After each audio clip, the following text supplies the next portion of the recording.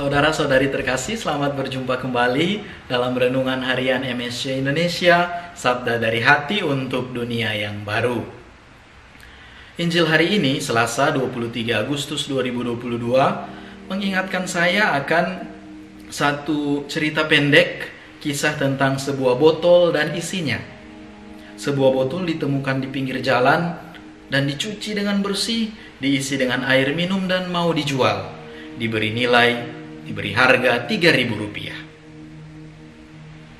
Air minum habis, botolnya dibuang dan ditemukan oleh seorang pencari madu hutan. Botol itu dibersihkan lagi, diisi dengan madu hutan sampai penuh dan dijual. Diberi nilai, diberi harga yang kini lebih tinggi lagi, 100 ribu rupiah. Madu pun habis Botolnya dibuang dan ditemukan lagi oleh seorang pencari emas, pendulang emas. Botol itu dibersihkan, diisi dengan butiran-butiran pasir-pasir emas yang ia temukan sampai penuh dan dijual, diberi nilai, diberi harga yang kini lebih tinggi lagi 10 juta rupiah. Emas pun habis, botolnya dibuang dan ditemukan oleh seorang yang bodoh Orang ini mengisi botol itu dengan lumpur yang kotor dan sangat bau. Dan dia mau menjualnya. Dan ternyata berapapun harga yang berapapun nilai yang ia pasangkan pada botol yang berisi lumpur itu, tak seorang pun yang kemudian membelinya. Botol yang sama nilainya berbeda-beda. Dan yang membuat nilai berbeda-beda itu bukanlah jenis botolnya, bukanlah warna botolnya, bukanlah usia dari botol, umur dari botol itu, tetapi isinya, apa yang ada di dalam, itulah yang membuat nilainya berbeda-beda. Dengan kata lain, yang menjadi penting bukanlah apa yang kita tampilkan di luar untuk dilihat orang, tetapi apa yang ada di dalam itulah yang menjadi penting. Hal yang kurang lebih serupa senada disampaikan diingatkan oleh Yesus kepada kita hari ini. Hai orang Farisi yang buta, bersihkanlah dahulu sebelah dalam cawan itu, maka sebelah luarnya juga akan bersih.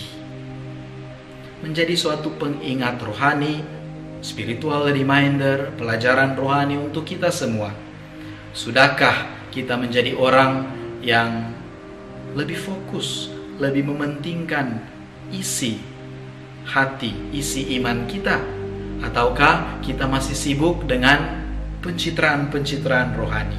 Kita masih sibuk dengan apa yang harus saya tampilkan supaya dinilai baik oleh orang lain.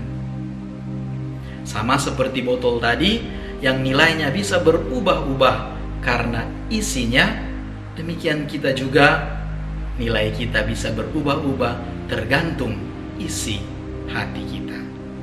Jika hati kita diisi dengan benci, iri hati, sombong, dendam, tentu nilai kita tidak akan setinggi seperti mereka yang hatinya diisi dengan sukacita, kasih, pengampunan, damai, sejahtera, dan banyak hal-hal positif lainnya. Saudara-saudari terkasih, hari ini mari kita perhatikan isi hati kita. Mari hari ini kita isi hati kita dengan banyak hal-hal positif. Mari hari ini kita isi hati kita dengan sukacita, dengan damai sejahtera, dengan pengampunan. Dan dengan demikian saya yakin dan percaya harga kita, nilai kita akan semakin lama semakin ditingkatkan. Berkat Allah yang Maha Kuasa dalam nama Bapa dan Putra dan Roh Kudus.